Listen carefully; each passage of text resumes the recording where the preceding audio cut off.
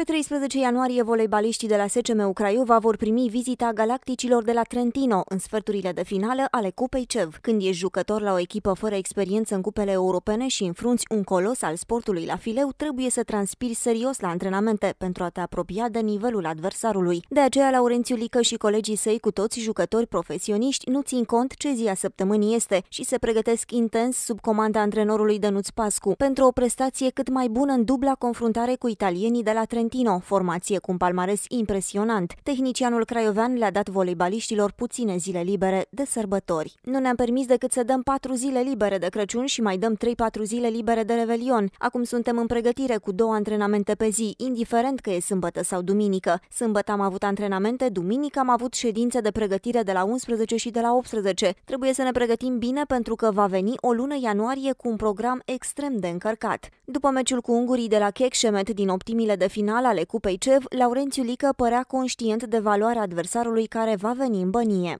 Consider că este un uh, lucru extraordinar să aducem o echipă de, de mare tradiție în, uh, în Europa, o echipă care uh, nici nu mai știe câte uh, trofee internaționale, naționale și internaționale are, așa că uh, va fi o plăcere pentru noi să ne, uh, să ne luptăm cu această echipă, cu niște jucători extrem de consacrați. Lică le transmite iubitorilor voleiului din Craiova că meciul cu Trentino trebuie văzut cu orice preț. Aș vrea să introduci craiovenii în atmosfera acestui meci. Ce poți să le spui despre echipa italiană?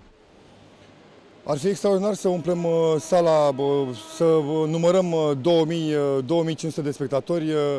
Nu mi-aș dori mai mult, să nu fie presiunea prea mare, bineînțeles glumesc. Este o echipă care merită orice efort. Trebuie să văzuți live. Confruntarea cu Trentino va fi primul meci oficial pentru SCMU în 2015, apoi pentru voleibaliștii craioveni va urma o serie infernală cu alte 5 meciuri, în total 6 partide în 18 zile.